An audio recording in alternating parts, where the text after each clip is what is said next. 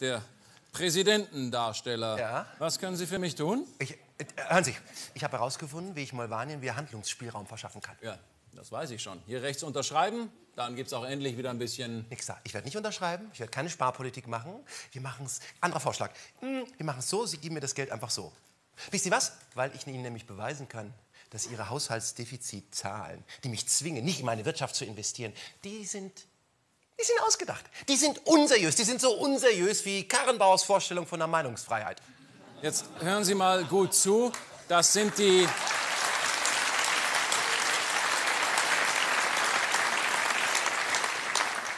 Das sind die Grundregeln der EU. Ja. Und das hier ist der Erfinder der Grundregeln der EU. Guy AB. Bonjour Oh, Guy. Was will das Klischee? Wenn es, wenn es Geld ist, sagen Sie ihm non. Erzählen Sie einfach, wie Sie diese Zahlen erfunden haben. Écoutez-moi. Es ist keine Großgeschichte. Es war 1981 und ich nur ein kleiner Beamter in Frankreich. Da rief mich Staatspräsident François Mitterrand an und sagte, Guy, Guy, gib mir eine Zahl für die maximale Staatsverschuldung. Und dann haben Sie gesagt, ich habe eine wohldurchdachte, ökonomische begründete Zahl für dich.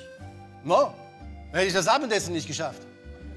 Nein, ich habe kurz überlegt. Wir hatten uns zu diesem Zeitpunkt gerade mit 2,6 Prozent neu verschuldet. Also die Grenze von 1 Prozent Merdelor hatten wir verpasst.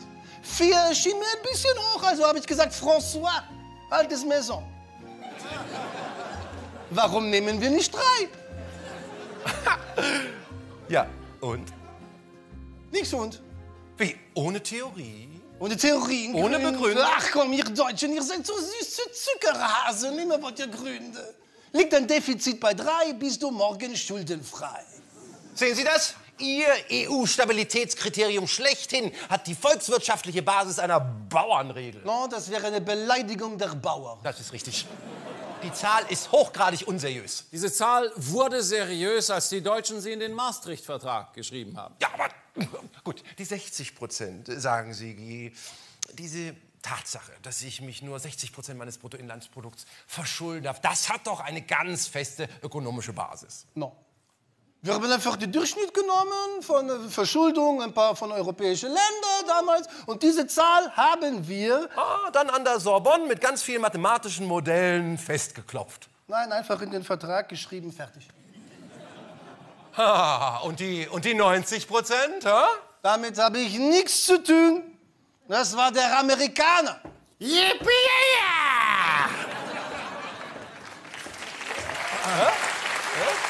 Amerikaner.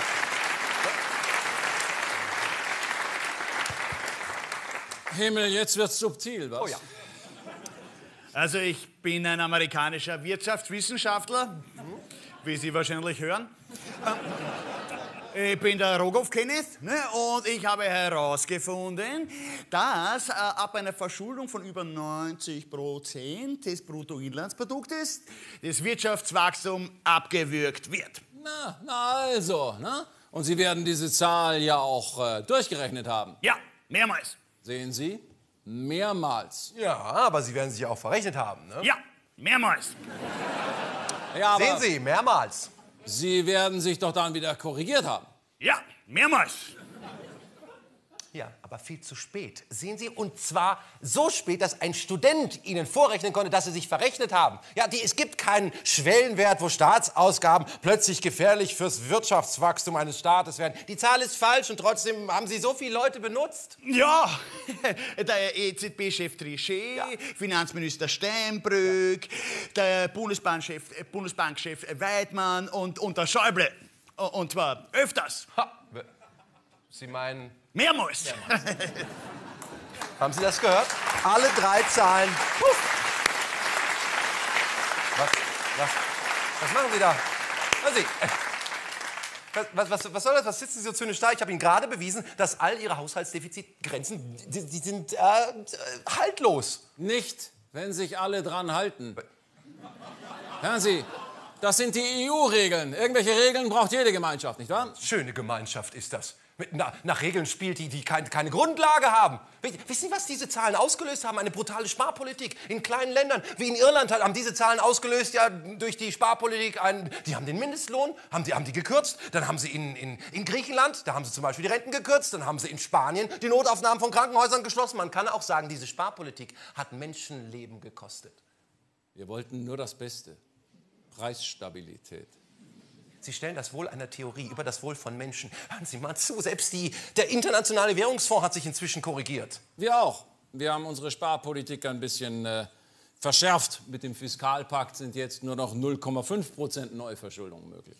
Wissen Sie was? Ich informiere jetzt das EU-Parlament. Aber ich bitte Sie, das wissen die doch längst. Die haben das doch alles schon scharf verurteilt. Wie, und Sie haben nichts geändert? Dürften Sie sie sonst wählen?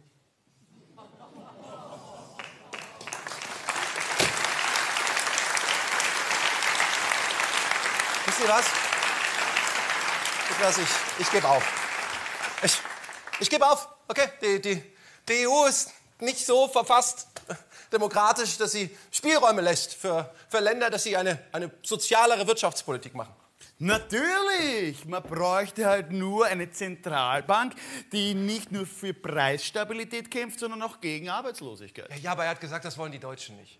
Da müsste man diese Mickey-Maus-Regeln abschaffen, damit kleinere Länder ihrer Wirtschaft Impulse geben können. Das wollen die Deutschen nicht. Ja, wir könnten einen gemeinsamen europäischen Haushalt machen, aus dem wird dann investiert in Krisenländer, die in der Krise stabilisiert werden. Ja, aber das wollen die Deutschen auch nicht. Oder gemeinsame Schuldscheine, ist für alle billiger. Eurobonds.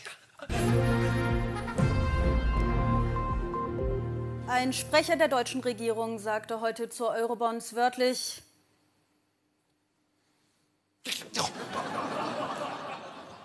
Okay, okay. Vielleicht äh, machen wir den Deutschen dann ein Angebot, das sie nicht abschlagen können. Ähm, Lohnsteigerung. Wie wär's? Die Exporte dadurch verteuern? Ja, dann werden die Exporte weniger in die anderen EU-Länder und dann müssen sich kleine Länder weniger verschulden. Das wollen die Deutschen nicht. Was wollen die Deutschen denn dann? Mehr von diesem Europa? Das ist richtig! Oh. Juhu! Und das war die Anstalt heute mit Jess Jochen. Guilherme!